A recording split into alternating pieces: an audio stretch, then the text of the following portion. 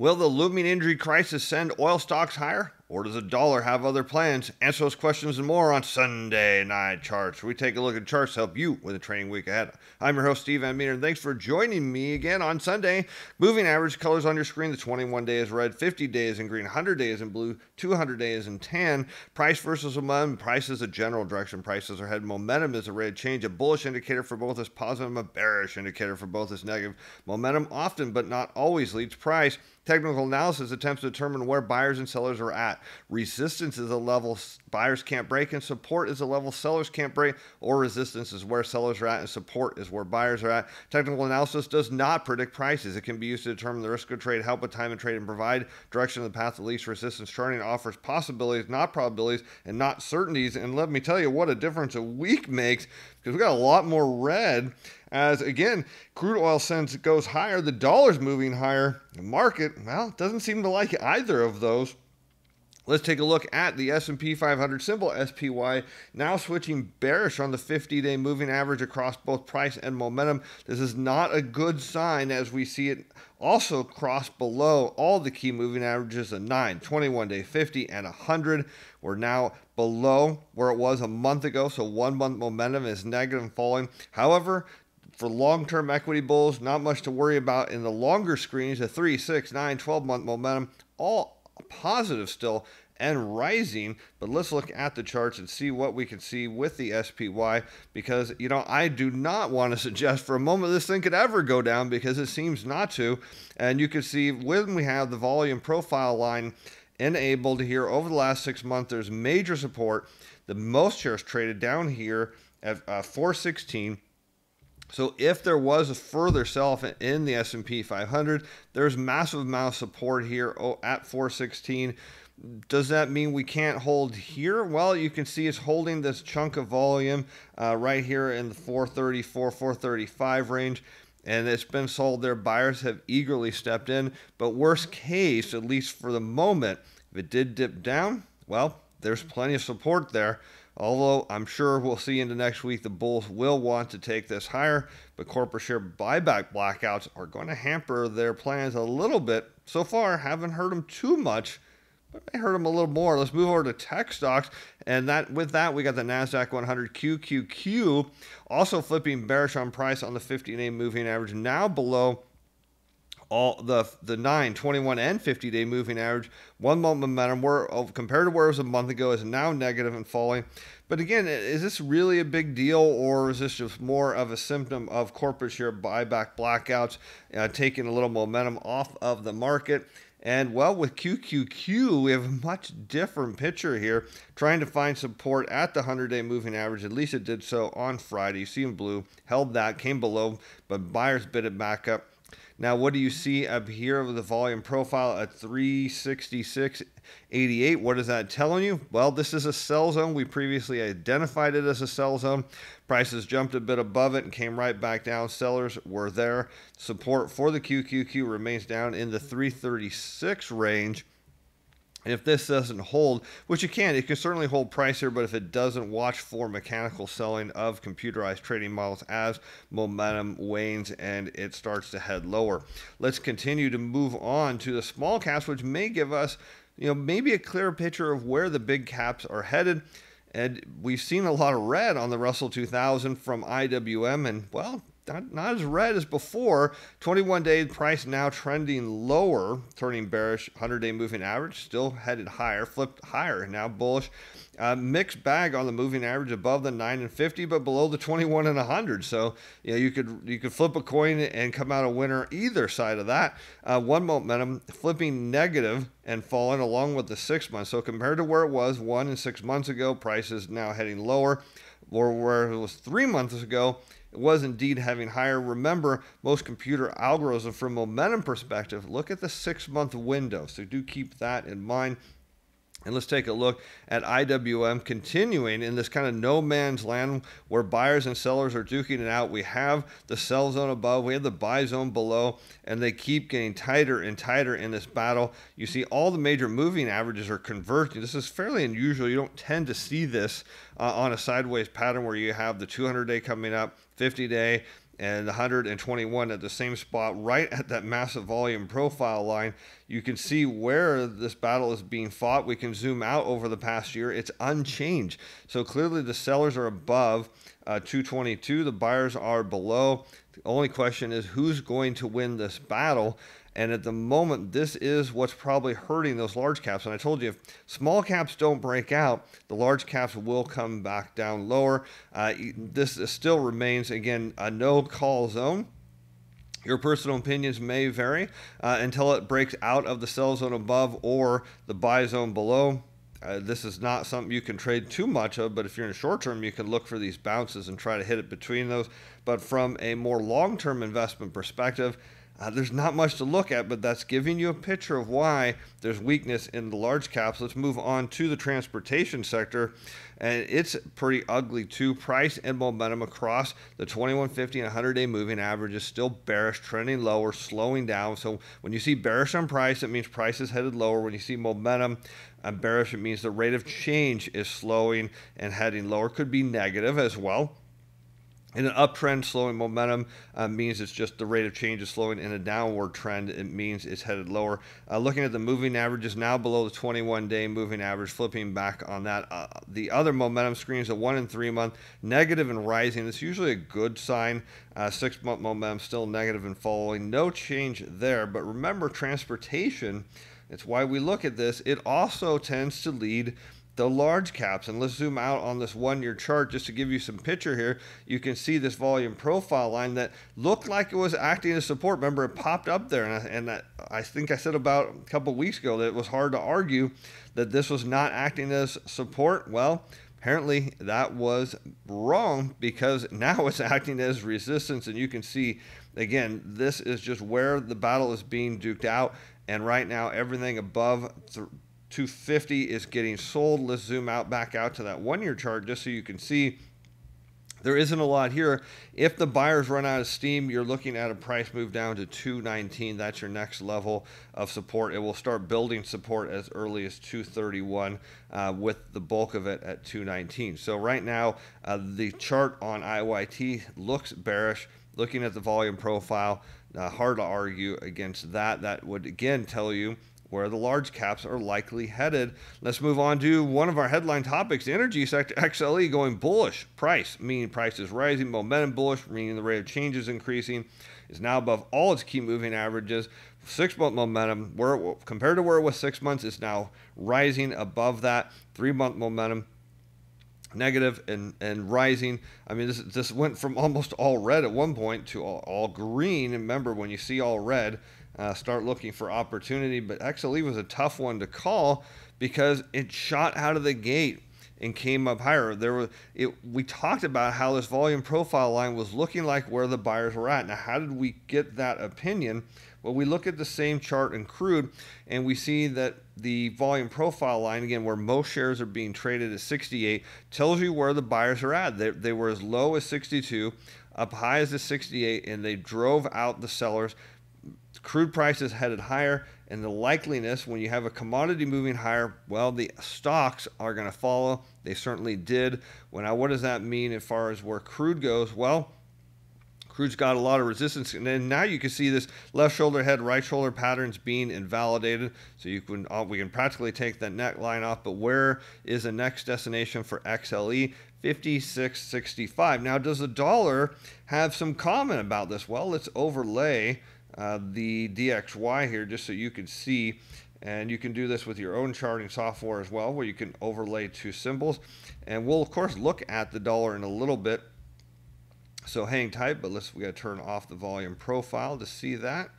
And nope, that did. Oh, I forgot to put the dollar sign in there. That's why. Gotta have the dollar sign in front of DXY. So dollar DXY. There you go.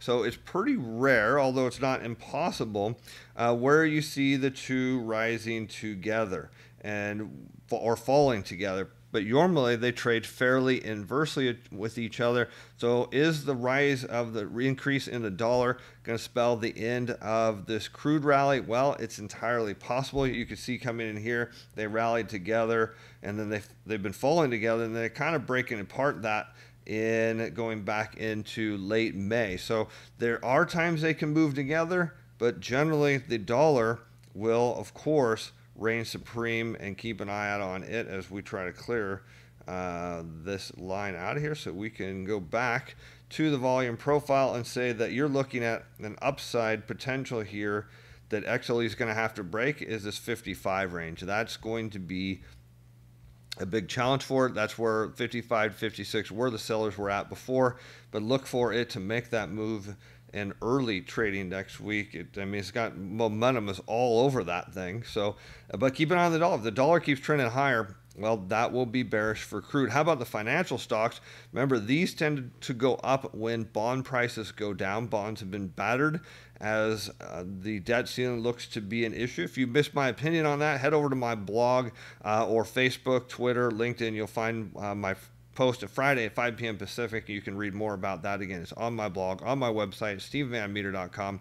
Price momentum still bearish. 50-day moving average momentum now increasing, so it's moving up at a faster pace. Above all the key moving averages, one momentum negative and rising. That's usually positive signs. But again, we know bonds have got have been battered and what happened, it came right down into this very tight buy zone where corporate share buyback machines have been running, although now we're entering blackout uh, space. It drove prices right into the, the sell zone, and sellers are trying to hang on to that. Again, we got this weird convergence of moving averages coming together. 200 day way coming up. Uh, right now, with blackout periods, I'd still say it's in the, the ball's in the seller's hands to drive this lower, but they may get a, some aided boost by the blackout period. But if bonds take off, of course, we'll look at that. Uh, are bonds bullish? Then we'll get opinion on where perhaps financials are headed. Industrials looking pretty bearish. Price momentum bearish, below all key moving average. One and three month momentum negative and falling. How about we take a look over at industrials and what do we see? XLI yeah, this is an ugly chart. If you want an- another opinion on why the major uh, indices are struggling here, look at XLI. It's telling you this is breaking lower. That's going to tell you where crude and energy are likely to go next. And you can see selling has been over this 102. It's trying to hold this 200 day moving average. Failure to hold there. You're going to move all the way down to this $90 range uh, between, say, 87 and 90. It's looking pretty bearish for the industrials. So we'll just go with that, that it is indeed bearish and headed lower as our indicators suggest. How about utility sector, which was not long ago? All green and now price momentum both completely bearish below. All the key moving averages one month momentum negative and falling. Utilities have been all over the map. I mean just everywhere. And what do we see? Let's zoom out because you can you can really see there there is this um, we talked about this last week that if utilities kept going lower they would run into a massive volume support line and it did at 63 found buyers there but look at the six month let's zoom back in and what do we see? Sellers right above there. So sellers are exiting positions as buyers right below. Uh, i would assume that these two sides are going to duke them out. What do i think price would do? I think price is more likely to move up as it holds support and see if it can fend off where these sellers are at. So I would look for prices on utilities to move higher. Uh, but keep in mind, this thing is, is, is looking tired. But again, the buyers, even over the last two years, going back two years, the most shares traded right here at 63. So that's why I still think there is another attempt of higher utility prices coming just due to all those shares traded hands and holding there. They don't appear to be breaking. So that is good news. How about gold miners? I know everyone's really bullish on inflation and they can't figure out why mining stocks head lower. We've been pointing this out for a while that this thing is uh, goose is cooked. Uh, price, momentum, both bearish. Eh, red across the board now. Red, everything is red. This is not pretty for the miners. Let's take a look while we're at it. We're gonna look at let's look at the juniors first, and we see GDXJ. We got a nice volume profile line above current price, suggesting the sellers have won out. Let's zoom out on the chart. We'll go to the two-year chart, and you can see where is GDXJ likely still got to come down to. Um, still going to come down to the looks like probably in this low $36 range. If it breaks that, then this is where the real damage comes because you look back where all the people that have been buying over the years are, and it breaks 36, and now you're down into the third low 30s. Let's zoom back in and head over to GDX, which is again all red. There's a lot of uh, there's a strong correlation between these two, so it almost doesn't matter which one you prefer to look at. You're going to see a similar story. And you look at this now on a two year chart, and GDX most likely coming down into this $27 range. If it doesn't hold there, if the buyers don't defend that, well, you could see GDX uh, breaking through support, breaking through 26, and getting down into the 22 range. And while there's a lot of support there, potentially momentum would drive it lower. And then you'd be looking at a pretty incredible buying opportunity. Um, and you can see GDX, the sellers did win out. This is not a vote of inflation. This is a vote of liquidity running out of the markets. Let's move on to emerging markets, which, if you were bullish on the miners and you don't like the look of the chart, then you really want to be bullish on EEM because that will pull the mining stocks higher. what do you see in EEM? Price bearish, momentum bearish, below the key moving averages. One month momentum, not a big deal, flipping negative and falling. Three month momentum, flipping negative and rising. That's a little bit of hope.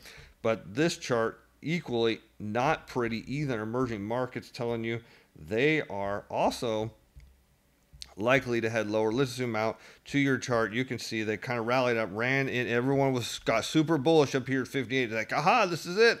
This is the demise of the dollar. Emerging markets going to the moon. Sellers came in, and people are going to say this is a bull flag, and they're going to say it until price gets all the way down to 44, where there's a major support at.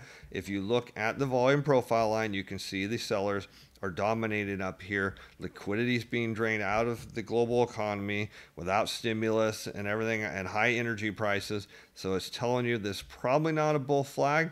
It's probably a sign of disinflation and perhaps the economy rolling over into a double dip recession. How we move on to high yield bonds, HYG and this thing has been a terrible predictor of anything. Although when high yields give up, then you know the broad equity market's coming with it. So we'll be looking at this with a very curious eye. Price and momentum on the 21 day now both turning lower, slowing down. Uh, 50 day price heading lower below all the key moving averages. Again, this has not been an issue below the moving averages. One month momentum, three month momentum now turning negative and falling from where they both were over the last one and three months. Let's turn over to high yield bonds and see what is going on here. Let's zoom out.